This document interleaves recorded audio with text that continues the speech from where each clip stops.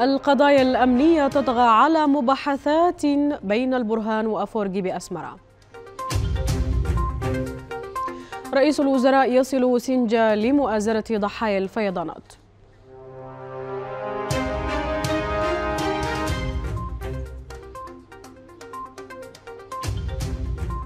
الجنيه يواصل تراجعه أمام العملات الحرة في السوق الموازي.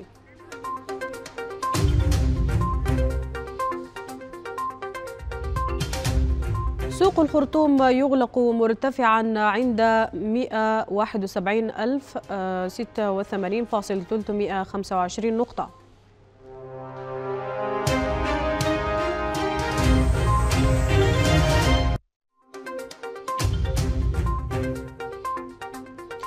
بكم مشاهدينا بحث رئيس المجلس السيادي الانتقالي عبد الفتاح البرهان الرئيس الإريتري السياسي افورجي اليوم الاثنين القضايا الأمنية والحدودية وملف السلام بين الفرقاء السودانيين. ووصل البرهان صباح اليوم العاصمة الإريترية أسمرة في زيارة رسمية استغرقت ساعات. ورافق البرهان في زيارته مدير جهاز الأمن والمخابرات العامة الفريق أول ركن جمال عبد المجيد. ورئيس هيئة الاستخبارات العسكرية اللواء ركن ياسر محمد عثمان.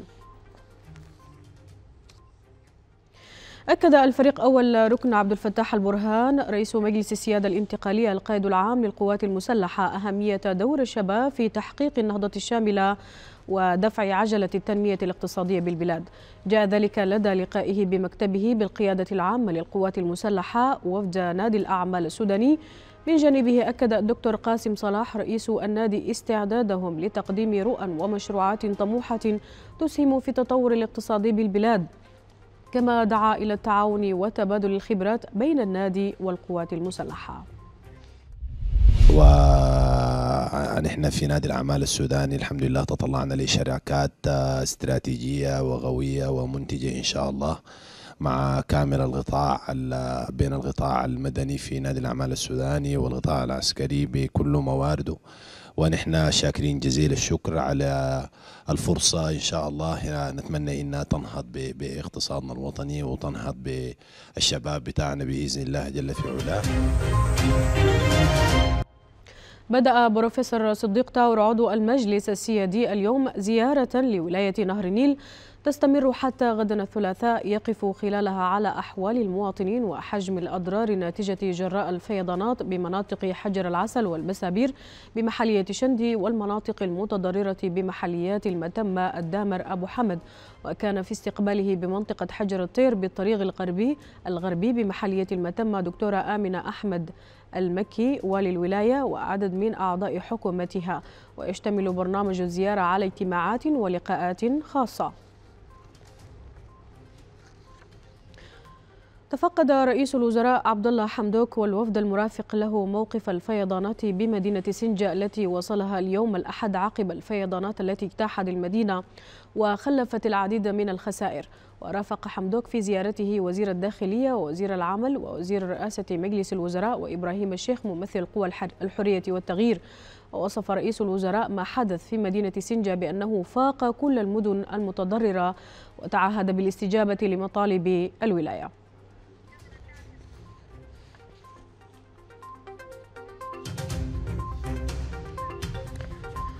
من جهته أوضح والي سنار الماحي محمد سليمان أن ولايته في وضع كوارث وتحتاج لمعالجات عاجلة من المركز داعيا لتوجيه صندوق الإسكان للعمل بالولاية والإسهام في تشييد المباني للأسر المتضررة.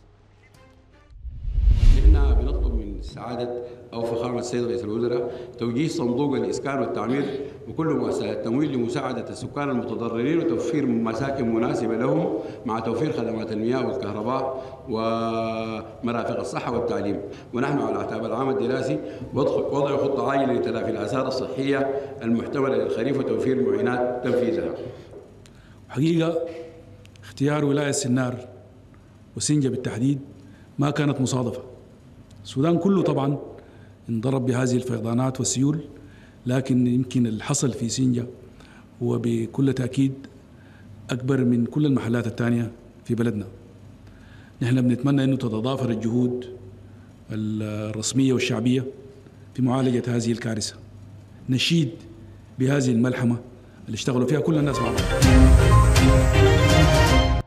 عقد رئيس فريق الوساطة لسلام السودان مستشار رئيس دولة جنوب السودان للشؤون الأمنية تود جلواك مؤتمرا صحفيا اليوم بفندق براميد في العاصمة جوبا عقب التوقيع على مصفوفة تنفيذ بروتوكولات السلام وقال توت إن الحركة الشعبية لتحرير السودان شمال جناح عبد العزيز الحلو أكدت التزامها بمنبر جوبا والعودة لطاولة التفاوض.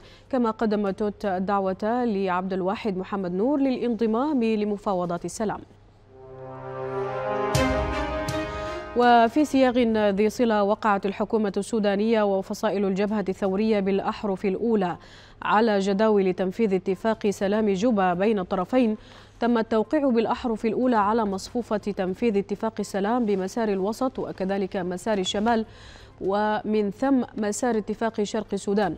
وكذلك وقعت الحكومة السودانية والحركة الشعبية لتحرير السودان شمال الجبهة الثورية على مصفوفة تنفيذ الاتفاق السياسي ومصفوفة تنفيذ الترتيبات الأمنية بين الطرفين واختتمت توقيعات مصفوفة تنفيذ اتفاق السلام بين جميع الأطراف بمصفوفة تنفيذ بروتوكول القضايا القومية حيث شمل التوقيع المسارات المختلفة.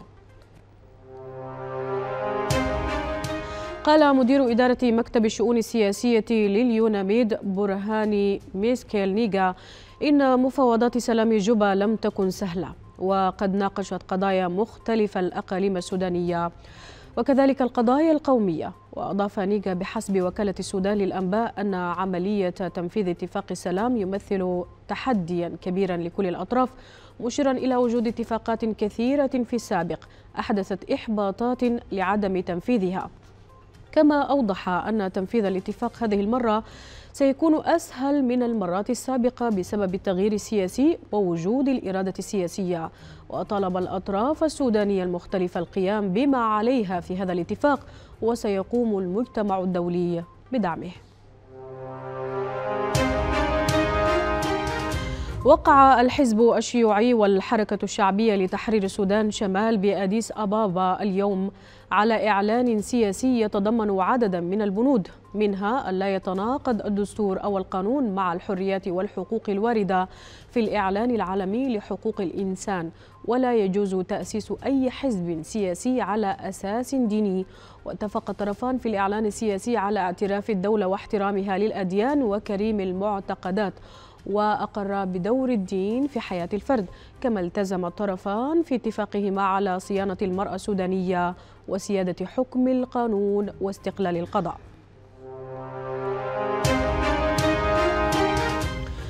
أطلعت عضو مجلس السيادة الانتقالي عائشة موسى السعيد طلعت على دور وإنجازات ومساهمات مركز عبد الكريم مرغن الثقافي بأم درمان في أم درمان في إثراء الساحة الثقافية والأدبية والفنية.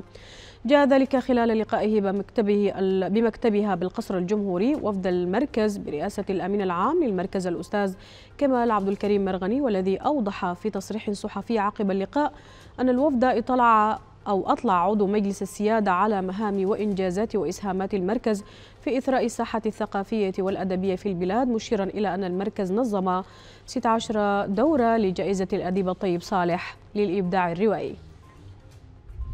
قدم المركز بمقترح يحوي آه، آه، ترجمة وطباعة الوثائق البريطانية عن الفترة 1920 1940 إبان الحكم الأنجلو إيجيبشن للسودان وتلك الفترة وما احتراها من آه، مصادمات سياسية وخلافه وفترة هامة وفي تاريخ السودان واللي هي بدت ببوادر آه، بدايات الحركة الوطنية.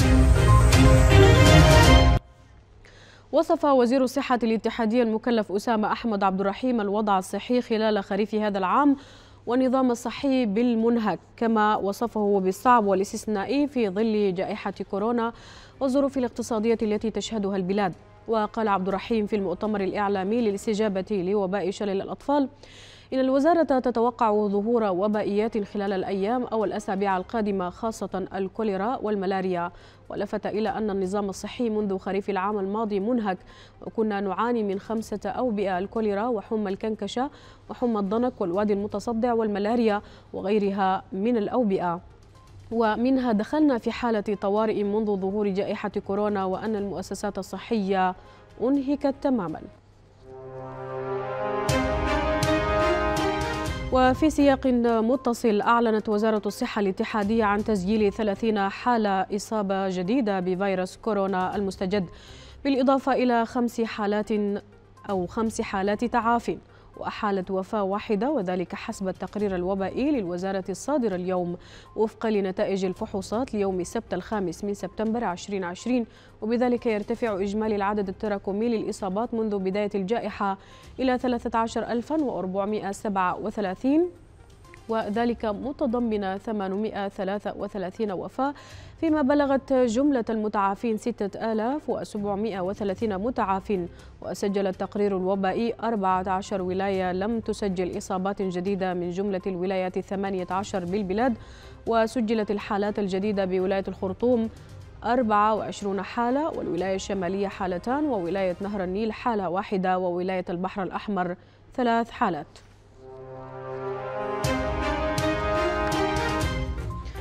واصلت مناسيب نهر الدندر الارتفاع لتسجل اليوم عند محطة قياس مدينة الدندر 14.4 متر بزيادة 8 سنتيمترات عن منسوب الأمس الذي سجل 13.96 مترا. وأبدى المواطنون تخوفهم من الزيادات المستمرة لمنسوب النهر الذي أصبح مهددا للمساحات الزراعية والبستانية التي قد تتعرض للإتلاف في حالة ازدياد المناسيب. وجهت لجنة طوارئ الخريف بالمحلية بتضافر الجهود لمواجهة فيضان نهر الدندر وناشدت المواطنين باتخاذ كافة التحوطات اللازمة والابتعاد عن مناطق الخطورة. هذا الانخفاض في الأمطار سوف يؤدي إلى انخفاض في وارد الديم عند محطة عند الحدود السودانية الأثيوبية آه، في حدود 750 مليون متر مكعب. بينما كانت متوسط الأمطار في العطبراوي في يومي 4 و5 حوالي 13.7 ملم وأيضا سوف تؤدي إلى انخفاض في وارد العطبراوي في حدود 110 مليون متر مكعب. آه، بالنسبة للتنبؤات لمناسيب يوم غد الثلاثاء الثامن من سبتمبر سوف تكون على النحو التالي. القطاع الدمازين سنار سيشهد انخفاضا في حدود 10 سنتيمترات. وبالنسبة لهذا القطاع آه نذكر أنه آه الوارد انخفض من 900 مليون في يوم آه 5 9 إلى حوالي 770 مليون اليوم. يعني في انخفاض حوالي 200 مليون خلال الأيام السابقة. الخرطوم اليوم 17 متر 65 سنتيمتر للأيام القادمة 17 متر 62 17 61 17 60 شندي اليوم 18 متر و37 سنتيمتر للأيام القادمة 18 36 و34 و33 وفي سياق أكد المهندس حامد محمد علي مدير سد الروسيرس أن إدارته نفذت جملة من التدابير اللازمة لمجابهة فيضان الخريف وقال لوكالة السودان للأنباء إن سد الروسيرس لم يتعرض لفيضان بحجم فيضان العام الحالي منذ تشييده في العام 1966 وأن الإجراءات المتخذة قد خففت كثيرا من تأثير الفيضانات على المناطق الواقعة شمال السد مبينا أن التخزين القسري خلف, خلف السد بدأ في الثاني والعشرين من أغسطس بواقع 400 مليون متر في اليوم. ويحدث التخزين القسري عند تدفق كميات من المياه تفوق قدرة بوابات السد على تمريرها لافتا إلى أنه في ظروف الفيضانات المرتفعة. يبدأ التخزين في التاسع من أكتوبر وبزيادة في سبعة أو في سعة التخزين. ناقش مدير عام وزارة الصحة والتنمية الاجتماعية بولاية النيل الأزرق الهادي عوض لدى ترأسه اليوم اجتماع غرفة الطوارئ الصحية بالولاية ناقش حصر وتقييم أوضاع المتضررين من فيضان النيل الأزرق بمدينة سنجا والقرى على شريط النيل الأزرق بالشرق والغرب والمواقع المتضررة من السيول والأمطار. كما ناقش الاجتماع الحاجة من المعينات لمجابهة هذا الفيضان وتخفيف الضرر ومشكلة الإيواء والخدمات التي يمكن تقديمها للمتضررين. قدم مدير شرطة شرطة الدفاع المدني بولاية شمال كردفان مقرر اللجنة العليا العقيد صديق تايلو. تقريرا أوضح فيه حجم الأضرار التي لحقت بالمواطنين وأدت إلى وفاة 11 شخصا بمحليات الرهد شيكان أم روابة وسودري وكانت الوفيات خمسة بمحلية الرهد وثلاثة بمحلية شيكان وحالتين بمحلية سودري وحالة واحدة بأم روابة. جاء ذلك في اجتماع اللجنة العليا لطوارئ الخريف بولاية شمال كردفان اليوم برئاسة خالد مصطفى آدم ولشمال كردفان وأشار صديق إلى أن المنازل التي انهارت بلغت 375 منزلا انهيارا كليا. و935 منزلا انهيارا جزئيا وتأثر 16 مرفقا حكوميا. مؤكدا أن غرفة طوارئ الخريف تواصل جهودها في توفير معينات الإيواء لمناطق الولاية المختلفة. كشف المحامي محمد سالم جد الله عضو لجنة إزالة التمكين واسترداد الأموال المنهوبة بولاية شمال دارفور أن اللجنة قامت بحجز أكثر من عشرين ألف قطعة سكنية للتأكد من صحة إجراءاتها. وأكد في المنتدى الدوري الأول لشبكة صحفي ولاية شمال دارفور أن اللجنة ستواصل عملها خلال الفترة القادمة حتى تسترد أو تسترد جميع الأموال المنهوبة لخزينة الدولة. وأوضح أن اللجنة عكفت خلال الفترة الماضية على مراجعة سجلات الأراضي بهدف التحقيق والتحري حول مدى قانونية إجراءات التصديق ببعض قطع الأراضي.